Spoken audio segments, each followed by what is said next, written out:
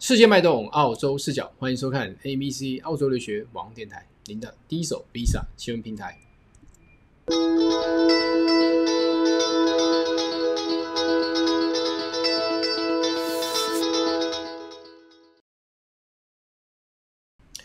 Hello，各位观众朋友，大家好，我是靠。您对澳洲留学移民投资有兴趣吗？欢迎您订阅我们的频道，并打开旁边的小铃铛，叫我们有新的 video、新的消息，您都会第一手取得最新的情报。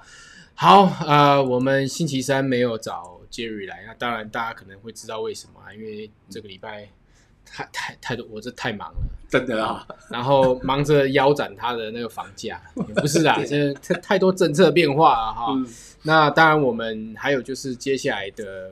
啊，星期六、星期天，还有下礼拜六啊，我这边打个广告一下。那如果您对这个全球科技人才签证有兴趣的哈，啊，明天在新竹喜来登，然后后天在台中的全国大饭店，然后还有下礼拜六在台南的香格里拉，都是下午两点的时间，我们会在那边跟大家见面哈。那 Jerry，这个礼拜你那边有什么新闻吗？新闻吗？对啊，新闻哦。其实我觉得最担心的就是雪梨竟然静悄悄的，那是那是今天的新闻呐。对啊，这很讨厌，因为其实前几天他本来十几例确诊，我本来想说在 FB 社团不想破，觉得它应该会好转，不对，哦，今天突然变二十几哦，赶快破一下，大家注意一下，对啊，然后哦，这个圣诞节如果大家都嗨一下，对啊，回来就。好，而且现在是幸好那边的小朋友是现在是放假当中，那还好。如果小朋友还要上课，我觉得就很辛苦。是是是，我这边有一些小小新闻跟大家那个播报一下。当然，可能大家注意到那个投资移民明年啊七月一号就非常重大的新，对他要把那个直接一步到位的 PR 全部不是腰斩了，他是没有了，直接买买起来。归零。好，所以如果投资移民的客户啊要的话，我们还有一个六个月的时间时间，对，然后我们可以探讨一下。嗯，那当然今天还有一个新闻是，呃，突然间这个呃澳洲的总理呢，Scott Morrison 呢说，啊，那这个贸易部长我们就先别提了哈，移民部长换人了，换成这一个叫 Alex Hawke，那会有什么后续的发展呢？我们不晓得，所以之后我们再来看一下好了。那不过，anyway，今天请到欧佩觉 Jerry 哦，那也是要聊聊房地产啦。嗯，那他今天有几个方面，一个是在介绍一个区域，然后还有一些什么，就是买卖流程哈，都到底怎么样啊？很多人不太知道，可能今天呃，感谢感谢他花点时间跟我们来了解一下哈。嗯，那我们先进入第一个话题吧。第一个就是这个区域啊，你今天想要介绍 Rochdale，为什么想介绍介绍 Rochdale？这也是曼尼知识啊，很多人都要买地自建，然后要腰斩。哦，我都已经找到 快找不到，就没没有什么腰斩不腰斩，就明明现在做房市再好，根本就没办法。然后就是 Rosedale，它是属于啊以前呢啊，我查记录，它二零一二年之前大部分都是农地居多啦。那后来经过这个政府的这个就是说重点发展住宅区，所以它。大块的那农地就慢慢就是都没有了，它现在就是都变成住宅地在销售，所以这个那边如果你要找 house 的话，那边是很密集，就是你可以找到，就是不会那么辛苦的去辛苦去找一块地啦。那 Rosedale 它那边已经很多块地都已经整合好了，批文都已经有，你就可以直接买这个地来盖你自己想要的房子啊。那啊，你手上有这些地吗？有啊，是有啊，可以腰斩吗？当然是不行啊。它大概多少钱？十万。没有啦，没有十万，罗斯蒂尔也已经贵了啊，因为他从二零一二年，他那时候已经被列为就是重点住宅发展区的时候，他那个房价也是一一路往上的啦。那那可是它会有个好处，就是它已经成型了，是是是，你不会去找一个哇哇完全就是旁边都还是树啊森林，然后你批文还得去申请，然后你得跟市政府就跟市政 旁边都已经盖满多房子了，对啊，那啊不然还要。辛苦一点，搞不好连水跟电都没有，你还得去签，哇，那很麻烦。哎，这个不用了，这边全部都已经有，都已经有了啊。所以你说找这种就买个块地，然后设计自己想要的房子，那 Rosedale 是你可以考虑看一下。它 house 现在在大概一百万，哦啊，它也是每年每年，它没有 unit 啦，unit 是没有的。哦，对啊。然后我们可以看一下它的趋势，对，它的趋势，呃，如果我们看从年度去看的话。你可以看到，就从二零一二年之前，它是没有 house 的那些记录的，因为它那个时候都还是农地啊。好好好，对啊，等到二零一二一三年之后开始有地，它就开始从这边才跳出来有数字，对对对，才开始有数字。所以它是有涨的。哦，原本六十六十八万，对现在已经到，我以为这个没有涨幅没有太多，就一一拉上去从六十八变八十八，然后就九十九十六，我现在要一百。可是你要知道道，这是二零一九，其实二零一二零年又更高。哦，真的啊，对，哦，所以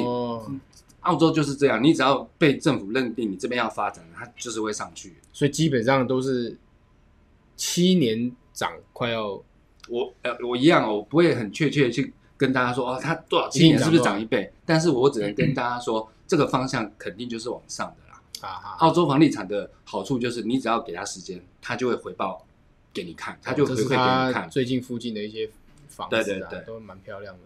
然后像 Rochdale，呃，这是我自己个人的一个意见啊，我也不就是看个人喜好。像 Rosedale，因为它是还是属于这个那个布里斯本市政府的区域，嗯那如果是 Rosedale South 的话，它就是属于 Logan City 的。哦，所以我我宁愿是这样子的话，我还是比较偏好你就是找至少是布里斯本市政府的。啊，对，那个区还是有差别啊。其实还是会有差别，因为你的税收、你的预算、你的基础建设什么要比较快到位，还是要布里斯本市政府啊。不过这个地方有个好处啊，因为我蛮多朋友住在那边嘛，嗯他刚好就在高速路旁边啊，所以要，要进市区啊，然后要去黄金海岸啊，都特别方便啊。而且就是他那边附近呃呃那个什么那个购物中心也已经哦新形成的那个 Rosedale Town Center，然后嗯它也很靠近那个最大的那个 Garden City City，对对所以你说购物方面的话，那那边是 OK 的。对，如果要买龙虾，蛮方便的。，对对对，不会想象中就是一片荒芜，不会不会。是是是。然后那边的学校，呃，学校我看一下，学校的话，它地 State School 啊 Rochdale State School 是公立的，嗯也是不错的学校。然后还有私立的 Ru- Rudima 那个 college 这私立的，也是都两个很不错的学校。所以你到那边，然后或者你要到，甚至有人不熟悉，你要去 Sunny Bank 上学的，可能也是都都很近，他去其实都很近上那边好像十分钟而已啊。对。然后他到市中心也是十五分钟就到了。对对对那对你说往南要到黄金海岸也是半个小时多四十分钟就到了，对对，对所以它是介于如果你想要买一块自己的地，然后自己盖自己的房子，那 Rochdale 是可以考虑的。不然其他区域就是我们要再另外再找。OK，好，那我们今天来聊聊整个交易的买卖交易的流程啊。对啊、那你你先一个一个讲吧。因为 乍看其实很简单的，那可是问题是你真的要细讲，其实每个都可以讲很多啦。但是我就是重点是的，就是因为有些客人可能海外人士，他就只只知道新房，那有有一些客人他是当地人士，有 PR 的，那要买二手房，甚至是 auction，好重点其实重点是 auction，还有比如像我们刚刚提到，就是要买地自建，其实买卖流程就是都不太一样，所以我想今天花一些时间跟大家分享一下，就是你买卖流程大概要注意一些什么东西啊。嗯嗯嗯，好，第一个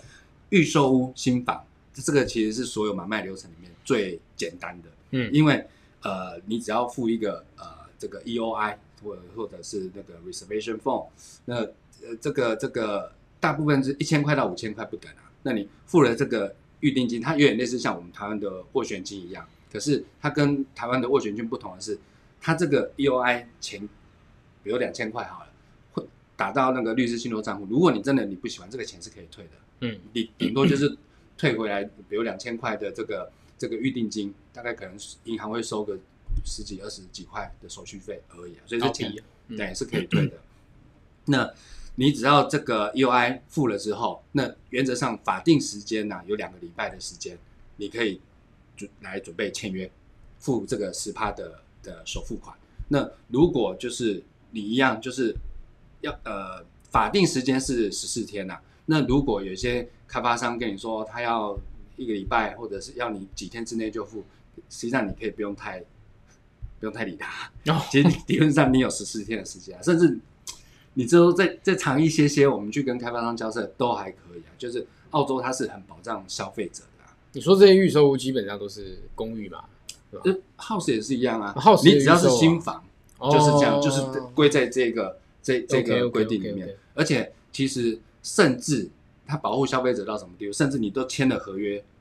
它都会还会有有个那个 cooling off period，就是冷静期，嗯因为它很就是保障消费者，就是很怕你可能消费者一时被 agent 天花乱坠讲到晕头了，然后就就就写了就签约了负十趴了。他甚至在你签约的那个他一个明显签名的那个地方，他会标示这个冷静期，他给你就是你可以在三个工作天就是无条件的把这个合约给取消掉。嗯，所以他是保障消费者到这个地步。目前我们看了很多台湾没有这样子吗？台湾没有，台湾没有冷静的，签就签了，签就签，签了签了之后，如果你反愿，这个开始就很麻烦了。哦，可是，在澳洲，它是签了之后三天的工作天时间，你就可以无条件的取消，你可以没有任何理由，你可以取消这个合约，嗯，蛮特别的，蛮特别的。很特别，就非常保障消费者。那呃，十趴的首付款付了，然后也是签约的当下，接下来就是你就等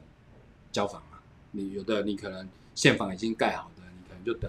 个两个月，两个月左右。一般而言，他们是四十五天到六十天啊，就是会交房。那如果你是买预售屋，比如两年或三年后盖好的，你其实就付这十趴，之后就等两年三年再去付这个九十趴而已。嗯所以就是属于新房啊、预售屋啊，它是这付款方式都是这个样子，不管它是公寓还是 house。就所以蛮简单的，而且还蛮蛮有保障的。而且就非常简单，就是客户有时候甚至会简单到觉得怎么这么简单，嗯实际上就这么简单。然后我们现在连视讯签约，像我们今天早上也是一个视讯签约啊，就是这么简单，OK，就是都都没有诶那。他他现在签约还会合约一定要纸本的寄来签吗？有一些需要，有一些需要是，为什么？为什么是有一些需要？现在不是电子，澳洲电子签对，可是 就是还是会有一些开发商，像我们之前的那个那个什么那个，在 Camp 哎是 Camp Hill 吗？还是嗯哪一个？就是他就寄来，是不是？呃，他是要求我们要用用纸本的啦。哦，那后后来我们交涉之下，就是我们这边一样是电子签给律师之后，让律师印出来在在澳洲列印出来给开发商，哦才不会那么麻烦啦。哦，不然的话，到时候他真的纸本寄来，我们没有话要等，都不知道等多久。是是是，对，然后他又再寄回去，麻烦。后来交涉之下，就直接电子版就 PDF 签好，email 过去，或者是 Line 或哇那这样 WeChat，方便很多了。就方便非常多啊不。像在台湾还要大小章盖来盖去。对，啊，哦，所以就澳洲它就是，然后还有盖指纹的，不是吗？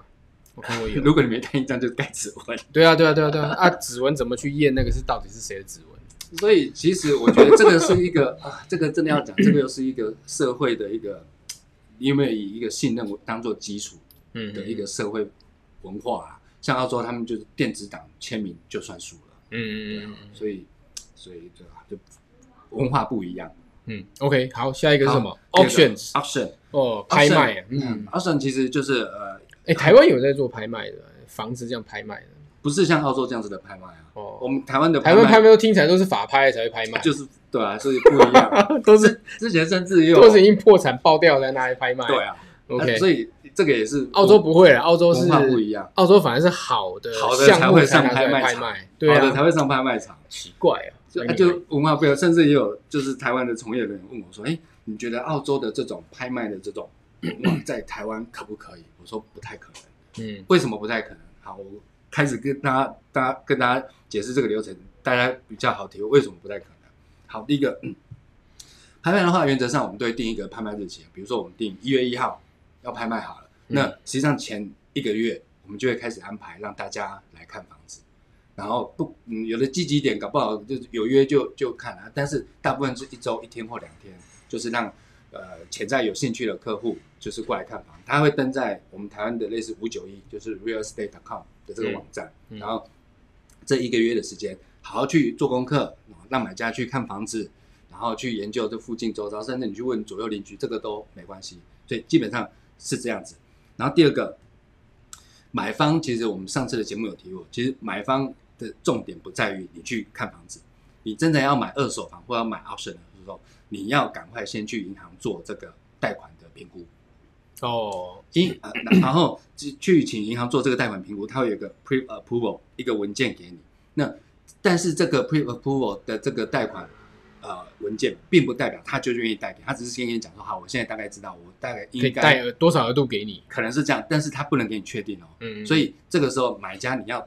货比三家不吃亏，你要多跑几家银行，然后去多拿一些这个 pre approval 的这个文件下来，这万一到时候 A 银行不给你贷，你还有 B 银行可以找；B 银行没有贷，你还有 C 银行可以找。就是防范如果拍卖拍到了，就没有办法贷款，你就晕倒了，因为拍卖的那那那个钱，那个十趴是要先付，然后你到时候不买，你这个钱是理论上一样会被没收，就被就被吃掉了。对对对，所以你在买，所以入场的时候十趴一定都要先压下去。那那个都要先付给中介了。哦，对，那那呃，这个付十趴，我认为大家也都还拿得出来。最怕就是你贷款，如果你心里不确定，好，比如说一月一号你已经准备要上拍卖场了，结果银行都还没有给你消息，因为你没有在前前三，因为这个这个贷款批文呃，这个 p r e o 基本上他会给你三个月的时效期啊。就是说，不可能说哦，你半年后我还一样给你贷款这个金额没有，他一般是三个月。那如果你没有提早去做这个件事情的话，你心里都比比如说你问了十家银行好了，嗯，十家都还没有给你这个 pre approval，你心里会不会有点担心？嗯，有可能啊。那你在拍卖场上你能够好好表现吗？嗯，你不敢啊，因为你没有钱，你就不敢喊了。是是是，所以，但如果有现金的就没差了。当然，我我们所有的买卖流程啊，你只要是现金买家，这个都不在此限。OK，可是大部分的情况并不会啦，都还是会有现金的，还是会想要去利用一下银行。对啦，你现在贷款利率那么低，你不用白不用啊。啊，对，因为现在当地的这种贷款利率，你看当地的最低的，我听到就是一点九九还是一点八九。哇，这澳洲史上也没听过这么低的贷款利率。你说台湾贷款利率一点一趴多，可是以前台湾之前贷款利率也有高的时候，以前。我印象中那种优惠利率贷款是五点五趴，台湾啊，我们也是一路这样走低。那现在澳洲已经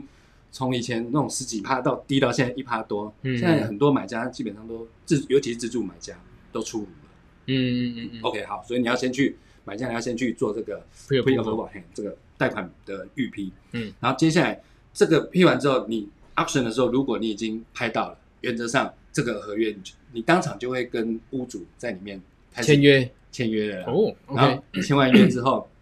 这份合约就是要赶快请那个你的律师啊，律有的是这样，可是实际上如果比较再更精明一点的买家，甚至你可以跟我们中介要求拿这个买卖合约，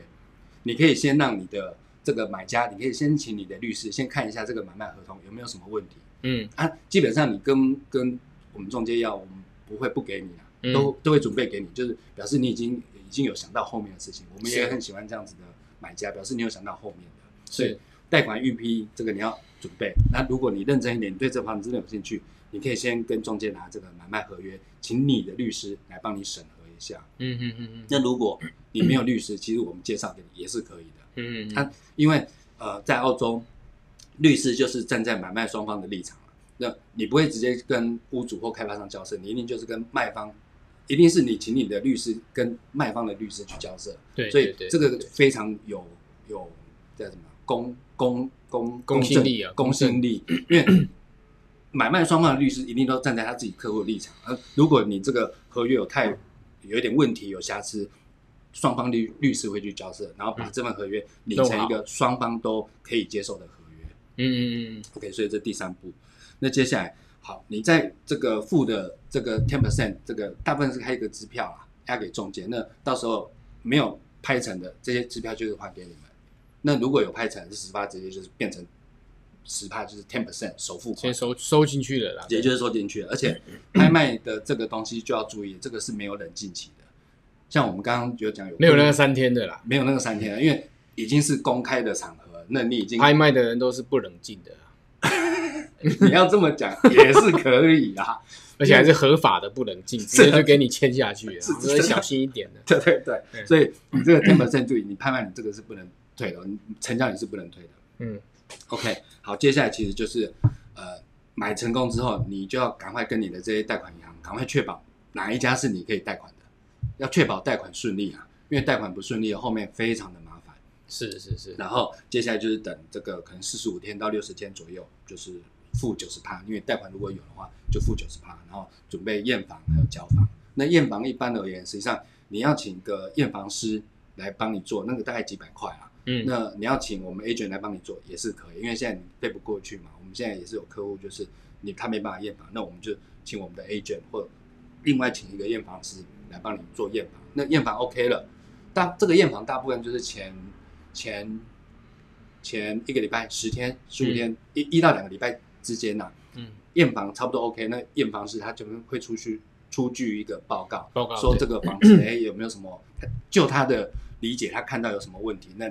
他只会出示报告，那你再依照你这份报告去跟开发商律师去交涉，哎，你这验房哪边有问题？如果没有问题，那就顺利，可嗯能就是如期交房。是是所以是是是呃，这个 auction 的这个买卖流程大概是这样。OK，听起来不错啊。那这个 auction 其实没有亲自去走走过流程，很多很对多人都对他他会不傻傻，不知道大家干什么他。他会不知道，而而而且就是有有这些美感，就是你到时候，当然如果一样，你是现金买家不再实现了。是是是，啊可是大部分人会需要贷款啊，你需要贷款，你一定要先了解这些东西。那其实刚刚有提到两个重点，赶快先找贷那个银行去做那个预批，然后第三个你精明一点，你去找这个中介拿这个买卖合约，你可以看一下合约有没有什么问题，提早做预备。那嗯同样这样的物件，你可以去两三个比较物件去比较一下嗯，对啊，但是贷款是最重要的。嗯，OK，那我们进入最后一个，我觉得是最多人问的。然后可是他是最讨厌、最麻烦的。为什么这样子？我明明就一直在推这个，我知道买地之间是最好玩的，好不好一样，你是现金买家，这个都没关系，我随便你玩都没关系。OK OK 可是如果一旦你可能不管你要你香港贷款、你台湾贷款什么，你钱都要准备贷款的时候，它的流程它因为它牵扯层面太广了。嗯呃，我们先不谈，呃其实如果是开发商已经整好地这块地，然后你买了之后，你来设计你自己要的，这还没关系一点点。最麻烦的就是这块地是完全你自己找，然后哦，我不建议这样子的。哦，那个那个，可是有些客人他不理解，他觉得他还要砍树干嘛？那个那个要花超多钱的呢。那超麻烦的。啊那那个很很多客人都觉得哇，这个可以有自己梦想了。我找到我喜欢的地，然后这个我找，因为你要想，这个涉及的人很多，律师、会计师，然后这个建筑商，然后这个设计师，然后市政厅，然后什么还有分包商，这些全部都要自己找。嗯那这些东西是个大工程，那你只要有一个环节出了错误，好，比如说贷款，贷款其中有一个地方出了错误，你整个流程重新再跑，你那个会旷日费时啊。嗯嗯，所以这个是最最不建议。但是但是如果真的有客人要，就是要让大家知道，就是这些环节你得你就想象，如果我们现在在台湾，我们要在宜兰买一块地自己盖，也是很麻烦，更何况你现在是要去澳洲。是是啊是，，牵扯的这些人工，然后这一个环节没有没有衔接好，你的那个建建造期拖过时间，你贷款不能下来，没有如期下来就很麻烦了。所以应该要，如果就要找，要找像刚刚我们介绍那个像 Rochdale 那种地方，是的，那个叫熟地啦，就是地全部什么电线啊、下水道啊，全全部都弄好了，你就是直接再找你想要的房子和工人，直接就把它盖满就好了。对这样是最好，不要去找那个还有树的。那个超麻烦的，对对对对对对对，那个会遇到，那个是开发商在做的事情，这么麻烦的事情就交给开发商去做就好。嗯嗯嗯那我们就依照，而且你要，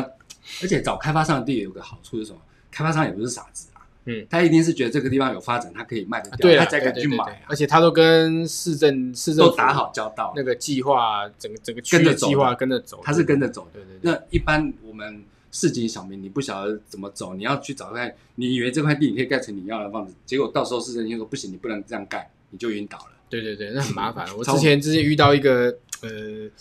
也是我也是遇过一次，我一次我就吓到他弄弄一弄，结果那个房那个土地后来被市政府归为那个一部分归为公园啊，晕倒，这不能盖。的。他原本以为全部都是我可以我的盖，对啊，就后来被变成公有的，哇，那个而且、而且买地这件就是你正常而言啊，你真的要盖到你喜欢的样子，永远十个有九点九个都超过预算。啊，是是是，你可能觉得预算你可能要呃，比如说、呃好，我不确定各位预算多少，比如说你想要你想要一百万连地连房子都搞定，有有这种地方，但是它很远啊。嗯，那你说要找这种熟地规划好的，不太可能有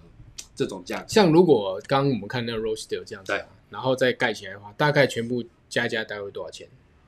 我觉得啊、那个地方其实也很多，有的便宜一点的六七十万也有，你说房子哦，就整全部一起，全部也有，嗯。然后贵一点的到两百多万也有，哦，差那么多，所以就是应该看大小，小啦，哦。地块大小，然后看你是盖盖一层呃还是两一层还是两层，哦，然后你设计的怎么样？因为里面牵涉到造景啊、绿化，你车道有没有铺，就就单纯盖一个房子很简单，但是如果你要涉及整个规划的话，那就不简单了。就前后院啊，对啊。有没有围墙啊？然后你要不要弄泳池？啊你要不要弄个漂亮一点的小果岭？哦这，个这个就落差很大。是是是是是，OK，好，呃，讲一下流程，OK，好，流程其实我们呃简单的就是找开发商。那如果比较辛苦一点，真的你要找一块你自己的地，基本上我们会先跟你收。其实嗯，每一家不一样啊，但是如果就我们的话，实际上我们会先跟跟买家收个两万块的类似顾问费，我们去去开始帮你去列地，去跟市政厅交涉去找地，会有个两万块的这个费用。两万块台币啊，那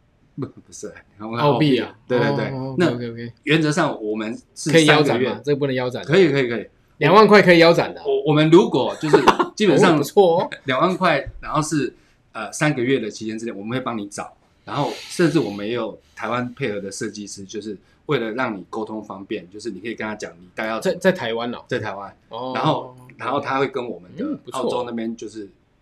就是因为有合作过，所以他知道大概要要要怎么沟通，不然的话连设计师你都要试训，那也是很辛苦的一件事情。嗯嗯嗯嗯，那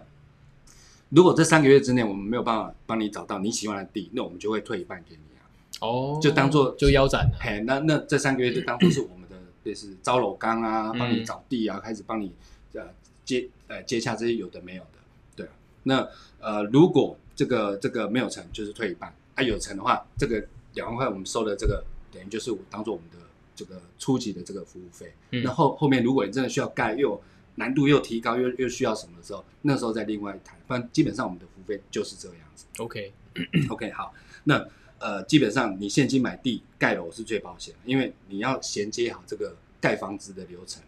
呃，因为因为在澳洲你买地之前是这样子，你你先跟设计师规划好，跟建筑商就是把这个合约都都弄好之后，你要依照这份合约去跟银行去申请贷款的。嗯嗯，那银行就会依照一步一步你盖到什么地步，他才贷多少款项给你。哦，对，所以你你分到时候开来的哦对，比如说你地基先盖好了，我就把哎，我现在进度到这边拍照，这甚至银行可能也会派人派人过去看啦，会看，然后看哎都符合你要好，我就把这款项给你。嗯，所以你不能 delay 啊，你如果有 delay，你到时候贷款就没有办法如期给啊。是是那是是，呃，最多发生 delay 的情况就是改来改去，设计图改来改去，嗯嗯，所以变成你在买这块地的时候，你跟设计师讲，赶快就是讲是讲赶快啊，可是每次提到这个，他一定就是一一个至少两三个月的这种沟通啊。但是能够时间抓越短越好，因为你地了买了之后，你就是准备要开始盖了，你不可能一直放在那边啊。嗯，那你只要中间有个设计图样，你看这个房子房间太小，你想大一点，还是说这个车位你要改在这边，这个一改，你你重新送给银行的这个这个合约就要重新换，嗯。就很麻烦了。嗯，所以就前面就要把它要改，前面就把它全部弄好。了，你前面一定要一步到位，你设计图，然后这个合约全部都准备好，好了，我就定案了，你不会再变了。啊，这份就要送给银行了，嗯，因为你送给银行，你也要送给好几家，也并不是每家银行都会过啊，是是是是是，所以一步到位把合约给准备好，设计图准备好，嗯，好，那在盖房过程当中，就是依照进度去拨款太琐碎的东西就就就不提了，因为嗯你看建筑上还要开发票，然后银行贷款文件又要申请，它都很麻烦。好，那像这样海外的人可以贷贷到款吗？其实基本上我们海海外人呃，我们在澳洲有配合可以贷给海外人士的这个基金公司，哦那但是利率我们试过很多次啊，不管你是买新房还是买重买低之间，试到最后，因为它利率就是比台湾高啊，哦，我们大概多少啊？最便宜我看也是四趴多，哦，OK，那台湾或香港它贷款利率就是一趴多啊，所以 even 我们让你知道我们澳洲没有贷款窗口，可是到最后也是没有人做，因为他们觉得贷款利率差太多。是是是是，我是觉得现在就应该好好趁着我们台湾的低的时候啦，低的利率，你就是可以可以来成就你一个澳洲成家的梦。其实大部分其实也不用我们说啊，客人到最后他自己也都是选择，算一算还是这样比较对他他也是不会找澳洲贷款。嗯嗯嗯，OK，那在建筑的过程当中啊，基本上你要要付的款项，它是分批给你盖到什么地步就付到什么地步。嗯，一般而言，你地已经买好了，先不管地你有没有贷款，基本上你现在也不太能贷款，地基本上是买现金的。是，基本上你说真的你有没有看马上 settle 嘛，对啊，所以基本上地是买现金的。那盖房子你就要开始付款，第一第一笔原则上你要付给这个建筑商五趴，当做一个保证金。好，我现在付五趴给你，然后之后我们来开始盖。那第一个盖好地基，基本上你再付十趴给他。嗯，然后地基盖好，要盖旁边的这个这个这个梁柱之类的东西，把它架支架支架再付百分之十五。嗯，然后等到你要把这个屋顶给盖起来、封起来、封顶的时候，这个再付百分之三十五。嗯，这样多少？这样已经七十了，对，然后你再七呃没有呃六十六十五，然后你整个外部的结构都好，接下来就是内部细装的，比如说可能隔间啊，或者是卫浴设备啊、厨具啊这些东西，水电啊这些东西油漆啊什么的，嘿都安都弄好，这个再付百分之三十五，当然百分之二十五，说错分之二十五，然后到最后就是百分之全部完工，全部 OK 的时候，完工了再付 ten percent 给他。哦那你当然，如果你是现金买，那你就照这个流程去做嘛。但但是如果你是要贷款，你是不是就要盖好，然后你就把这个盖好，然后请银行来说你来检查，嗯我现在盖好，你再银行再贷款给我。所以你是现金买家，这些就很方便。但是如果你一旦坚持要贷款，这些流程就会非常的麻烦。所以总共六次啊，要走流程六六六个 stage 啊。对，OK OK OK，那这个六这个 stage 其实一样啊，你啊、你要简单的盖一个房，把它给盖好，其实三到六个月也可以盖好啊。嗯啊，但是如果你要涉及到好一点的，嗯，我都会抓比较保险一点，六到六个月到一年之间，把你差不多啦把你理想的房子给盖好，嗯基本上是这样。嗯那那呃，讲我们这样讲，那几十几分钟这样讲完很简单，可是你真的在实际上是所有人的通力合作，才可以让这个事成事。不过我觉得这样蛮嗨的，其实我觉得蛮喜欢这样子的。这个如果你已经都有相关的概念，你然后来做这件事情，会很嗨，因为它出来的东西就只有你才有。我我相信应该是这样子啊，就是有些人已经在投资房地产的公寓、公寓、公寓、公寓、公寓，一直都是公寓，你你就会觉得 要换点新的东西来玩。这是一部分。那他们其实我觉得会去买这种做这件事情呢，一定是对自己的家有一份期望啊。啊，对对对对对对对，没错没错。因为实际上，如果说是我，我我有梦想，嘿，我觉得我要做一个我只属于我自己，是我设计的房子。对对对对对那在做这件事情，你一定要有相当的一些概念或 sense，你才会让这件事情流畅。嗯不然的话，你很多人卡突然卡住哦，那真的旷日费时，然后又有钱的压力，那这非常麻烦。嗯，嗯所以先有一些概念。那如果你不要这么麻烦，其实